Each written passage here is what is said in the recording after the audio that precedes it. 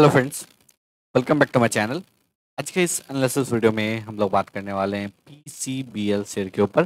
Philips carbon share के ऊपर in detail में बात करेंगे और जिस लेवल का हम लोगों को इंतज़ार था, वो लेवल इस स्टॉक में आ चुका है. डिटेल में वीडियो बात करेंगे तो आप लोग जो है वीडियो को ध्यान से लास्ट तक देखिएगा. और अगर आप लोग चैनल पे चैनल पे पहली बार आए हैं या फिर अभी तक आप लोगों ने इस चैनल को सब्सक्राइब नहीं किया है वीडियो को लाइक करके चैनल को सब्सक्राइब ज़रूर कर लीजिए. साथ ही साथ बेल पर प्रेस करके नोटिफिकेशन पे क्लिक करके ऑल को भी सिलेक्ट कर लीजिए, जिससे कि आप लोगों को भी लेटेस्ट नोटिफिकेशन मिलता रहेगा।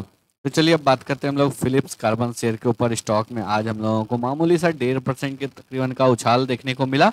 सेकेंड हाफ़ में स्टॉक में हम लोगों को एक एक गिरावट ही देखने को मिला और स्टॉक जो है मार्जिनल गेन के साथ आज का डे को क्लोज किया है। लास्ट वन मंथ में स्टॉक ऑलमोस्ट 18 परसेंट गेन किया और स्टॉक वन मंथ के हाई पे ट्रेड कर रहा है।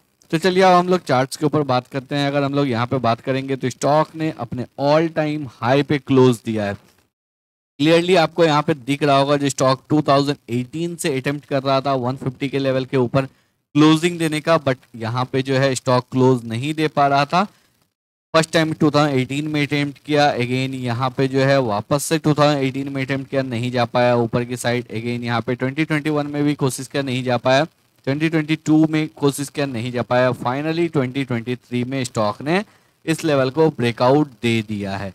यहाँ पे हम लोगों को एक अच्छा अब इस स्टॉक में मोमेंटम देखने को मिल सकता है फ्रेश अप मूव देखने को मिल सकता है, जो कि स्टॉक को 200 और फिर 250 के लेवल तक भी लेके जा सकता है। ऊपर की साइड से बात करेंगे तो यहाँ पे नीचे की साइड से हम लोगों को स्टॉक में एक ट्रेंड लाइन का भी सपोर्ट देखने को मिल रहा है, जो जहाँ पे कि स्टॉक इससे पहले भी सपोर्ट लिया है।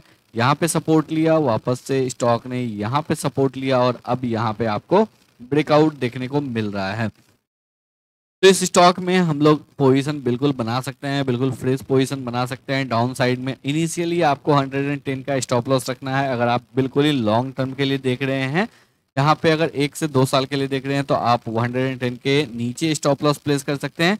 या फिर अगर आप शॉर्ट टर्म के लिए देख रहे हैं तो फिर आप यहाँ पे वन फिट वन के नीचे अपने स्टॉप लॉस को प्लेस कर सकते हैं। क्योंकि वन फोर्टी के लेवल पे जो है, यहाँ पे वीकली बेसिस पे एक अच्छा सपोर्ट जोन अब हो चुका है, क्योंकि अर्लियर ये रेसिस्टेंस था, अब ये सपोर्ट बन गया है।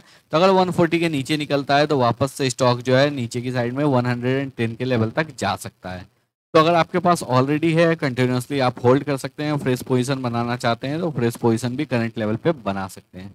आई होप आप लोगों को सही पॉइंट जो है बिल्कुल क्लियर हो गए होंगे। तो अगर आप लोगों को वीडियो पसंद आया हो एनालिसिस अच्छा लगा हो वीडियो को लाइक करके चैनल को सब्सक्राइब ज़रूर कर